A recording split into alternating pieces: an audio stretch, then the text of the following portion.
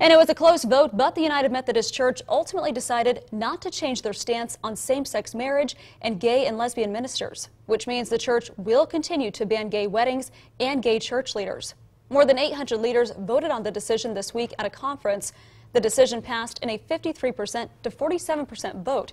And we talked to a Topeka LGBT activist about this. He says despite the decision, he still believes local Methodist churches will be accepting of LGBT members.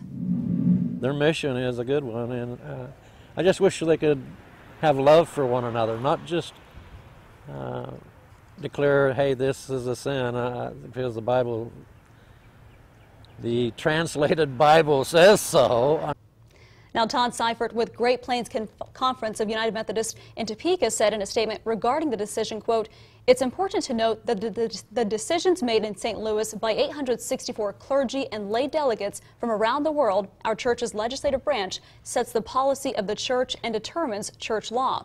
It's also important to note that not everyone agrees with those decisions, just as we as Americans disagree at times with Congress.